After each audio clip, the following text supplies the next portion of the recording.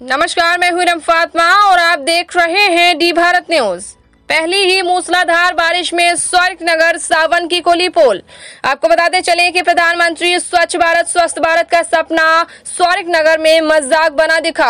आज शुक्रवार को करीब दो बजे नगर में झमाझम बारिश हुई। कई घंटों तक बारिश ने रुकने का नाम ही नहीं लिया।